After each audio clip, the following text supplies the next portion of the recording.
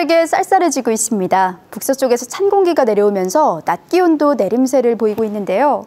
대체로 구름만 간간히 지나겠지만 북서 내륙은 밤부터 비가 내리는 곳이 있겠습니다. 여기에 해안 지역을 중심으로는 바람도 강하게 불겠습니다. 시설물 관리와 안전사고에 주의하시기 바랍니다. 오늘은 기압골의 영향을 받겠습니다. 종일 구름 많은 하늘빛을 띠겠고 한낮에도 선선한 기분이 들겠습니다. 현재 기온 살펴보면 창원이 9.6도로 대체로 한 자릿수 밑으로 뚝 떨어진 모습입니다. 한낮엔 밀양이 23도, 창원이 22도로 어제와 비슷하거나 조금 낮겠습니다. 서부 지역은 북서 내륙을 중심으로 비가 지나는 곳이 많겠습니다. 예상 강수량은 5mm 미만으로 많지 않겠고 곳에 따라 빗방울이 떨어지는 곳도 있겠습니다.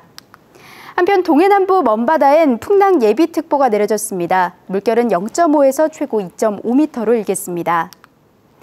다음 주에는 비 소식 없이 맑은 날씨가 이어집니다. 낮 기온도 22도 안팎으로 한층 더 쌀쌀해지겠습니다. 기상정보였습니다.